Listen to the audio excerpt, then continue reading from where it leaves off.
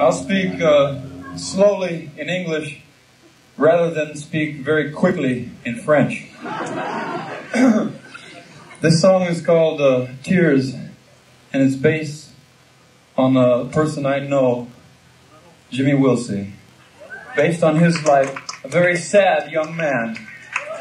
And I think if you watch his eyes when he plays, you can almost see a little tear dripping down his. Almost. Ready, Jimmy? That's okay.